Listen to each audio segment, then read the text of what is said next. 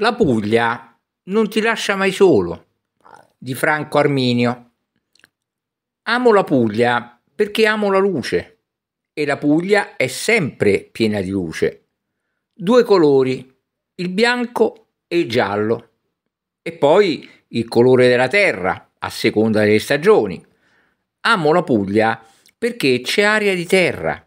Non ci sono luoghi turistici, ma luoghi veri dove arrivano i turisti. In Puglia mi sento bene. Non ti porta alla mestizia, alla cupezza. Stare in Puglia in effetti significa sottoporsi a una cromoterapia e forse anche il carattere degli abitanti ha il suo ruolo. Il pugliese, per esempio, non è spinoso come l'irpino.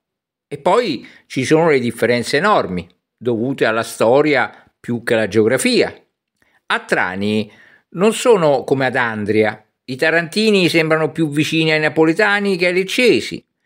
La Puglia non dovrebbe essere solo una meta, ma una sorta di seconda regione, così come alcuni possiedono una seconda casa. Allora si sta in Emilia e in Puglia, si sta nel Lazio e in Puglia. È come se ogni regione italiana mancasse di qualcosa che invece è possibile trovare qui. Dico questo senza prove, solo sulla base del mio continuo girare per l'Italia. Ci deve essere da qualche parte un luogo su cui potremmo essere d'accordo, qualcosa che sta bene a tutti. Questo luogo potrebbe essere la Puglia. Si potrebbe dire che sta all'Italia come la lucertola al coccodrillo. L'Italia, nazione di grandi differenze, ha al suo interno una regione che a sua volta contiene grandi differenze. E allora viaggiare in Puglia è essere qui e altrove, essere nel centro e nel margine, avere la modernità e l'arcaico. Insomma, io sono contento di avere la Puglia a 20 minuti di macchina a casa mia. È un buon motivo per continuare a vivere dove vivo il paesaggio non è mai nascosto, non ci sono grandi vallate e monti aguzzi. La Murgia è un cavallo basso, c'è il piacere di vedere grandi pezzi di terra senza capannoni e officine. Il Gargano è una vasta nuca sassosa che non sembra avere rapporti col corpo della regione. Se proprio si vuole trovare una mancanza alla Puglia, è la dimensione verticale, l'elemento della ripidità i paesi e le città stanno sul piano, stanno su una terraferma e antica, una terra che non trema. Ecco un'altra differenza rispetto alle vicine regioni meridionali. Manca la distruzione dei terremoti, manca quel senso delle cose appena rifatte che ti coglie in Calabria. La Puglia ha dei bellissimi centri storici, concede alla bruttezza solo l'obolo del lembo esterno dei paesi e delle città. È una bruttezza mai clamorosa, una bruttezza mitigata dalla campagna. L'Italia non deve mai dimenticare le virtù della campagna, la naturale resistenza all'omologazione che hanno i luoghi dove si lavora la terra. Comincio il mio viaggio pugliese da Leuca perché sono attratto dalle cose che finiscono, e all'Euca finisce qualcosa. Ricordo una giornata d'inverno col mare grosso come il cuore in gola. L'Euca è un gomito. Quando riprendi la marcia hai subito la sensazione che è cambiato il braccio. La strada non è più un pezzo di spiaggia asfaltato, ma un graffio nella roccia. Da Leuca puoi andare verso Gallipoli, lungo lo Ionio, o puntare verso Otranto, verso l'Adriatico, che a rigore comincia proprio dopo Otranto. Oppure puoi cercare il centro della Ragnatela, verso Maglie. In effetti, i paesi del Salento, con tutte le strade, le stradine che li congiungono, fanno proprio pensare a una ragnatela. Si può immaginare il Salento come un grande orto circondato dal mare e con tanti paesi dentro. Terra di contadini più che di marinai, penisola di luce, penisola limitata dal vento. Dopo le case delle periferie, sempre compare una piazza bellissima, con una chiesa bellissima, con palazzi padronali bellissimi. Può essere un paese piccolo o grande, ma può essere pure una frazione. E allora si può vagare senza far caso alle mappe, senza avere mete definite. Quando si è stanchi della pietra lavorata a uncinetto, si può entrare in qualche chiesa e ammirare gli affreschi a Galatina o il Cristo a Galatone, oppure cercare il mare sapendo che ci vuole pochissimo a trovarlo. E allora da Specchia a Presicce, da Alessano a Patù, si può arrivare a Pescoluse o a Porto Badisco, si può scegliere la sabbia o gli scogli, oppure si può risalire velocemente verso Lecce, dove la luce e la pietra sono in perenne luna di miele.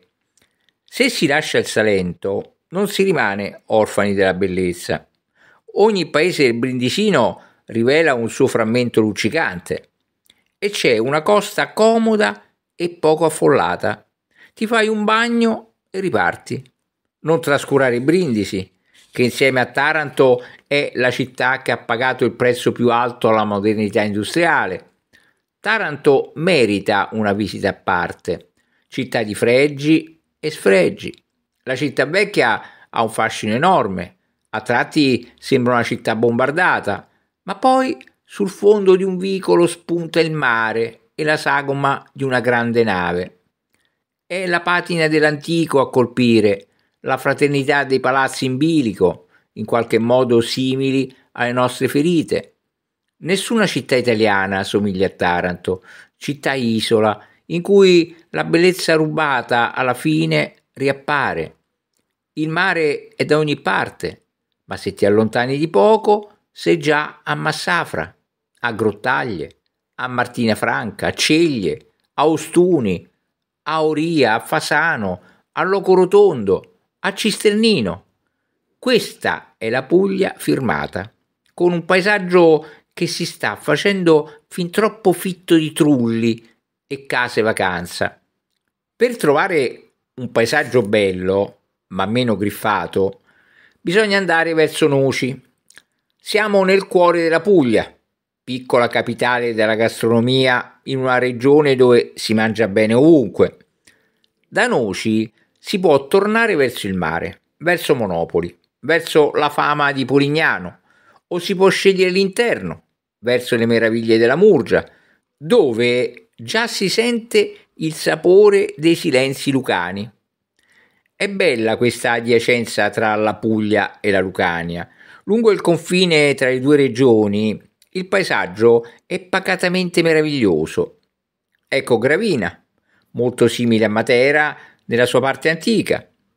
La collana di perle della Murgia può proseguire infilando Altamura e poi Minervino, paesi e paesaggi rurali e poi lo stupore di Castel del Monte, l'impero in mezzo alla campagna. Il viaggio potrebbe finire qui, ma la cattedrale di Trani è troppo vicina ed è vicina anche quella di Canosa, di Ruvo e di Bitonto. E poi c'è da vedere Bari, la città vecchia che ha perduto in poco tempo la sua cattiva fama. Più che un viaggio, sembra un fuoco d'artificio. La bellezza non ti lascia neppure nella provincia di Foggia. È solo che qui le distanze tra un gioiello e l'altro sono maggiori. Prima di salire sul Gargano ti puoi fermare a Siponto, dove un giovane artista, Edoardo Tressoldi, ha ricostruito con la rete metallica la struttura della basilica. Monte Sant'Angelo è un paese capolavoro. E poi si può scegliere l'orlo marino o passare dentro il promontorio, tra terre aride e boscose. Le bellezze note della costa come Rodi e Peschici si alternano con quelle più nascoste dell'interno. Vico, San Nicandro, sempre la stessa regola. Centri storici fascinosi, periferie. Da Rignano si può guardare una pianura perfetta come un biliardo, ma se si scende per andare a vedere Lucera non si può trascurare la cattedrale di Troia con il suo superbo rosone. A questo punto si apre il capitolo dei Monti Dauni. 30 paesi poco conosciuti, lungo il confine col Molise, con il Sannio e con l'Irpinia. Qui il viaggio diventa anche un viaggio nelle tipiche atmosfere dell'Italia interna. Bellezza e desolazione, il museo diffuso delle porte chiuse. Eppure nessuno di questi paesi delude. Va bene Orsara, vanno bene Bovino, Deliceto, Pietra Montecorvino, Biccari, Candela, Ascoli Satriano, Sant'Agata, Volturino, Celle di San Vito, Celenza, Alberona. Si tratta solo di scegliere il verso. Da Rocchetta Sant'Antonio a Carlantino sei sempre in uno di quei paesi di cui si dice che non c'è niente e invece c'è tanto. Insomma, esistono Puglie per tutti i gusti. Ci sono anche le isole Tremiti, ma c'è un fiocco che tiene insieme il tutto. E questo fiocco è la luce. Ricordo un mattino di ottobre a Porto Badisco. Raramente ho sentito una mattina tanto perfetta. E poi, tornando verso l'albergo, ho visto i monti dell'Albania, sorpreso dalla loro maestosa vicinanza. Un altro momento perfetto, la Puglia me lo ha regalato la prima volta che sono stato a Erdonia, una piccola Pompei nascosta dietro una banale casa di campagna. Sono un viaggiatore ansioso, ma questa terra mi calma. Ricordo la commossa gratitudine davanti alla bella tomba di Don Tonino Bello ad Alessano e poi il piacere di stare nelle piazze pugliesi, quelle note come Nardò e Tricase, quelle anonime come San Michele di Bari, ma tutte piene del tranquillo vociare di vecchi contadini. Poi ci sono i luoghi come Alberobello e c'è il piacere di scoprire che anche un paese senza fama di bellezza come Putignano in realtà ha un notevole centro storico. È questo il punto. In Puglia ogni paese, piccolo o grande, ha una sua perla. Melpignano è bella anche quando non c'è la notte della Taranta. Barletta e Molfetta conciliano il commercio con una buona tenuta estetica. Ecco, la Puglia è la dimostrazione che al sud si può incrociare intensità ed efficienza. Qui la noia non allinea da nessuna parte. Ancora una volta forse è merito della luce e del cibo. Fatto è che questa terra ti tiene non ti lascia mai solo.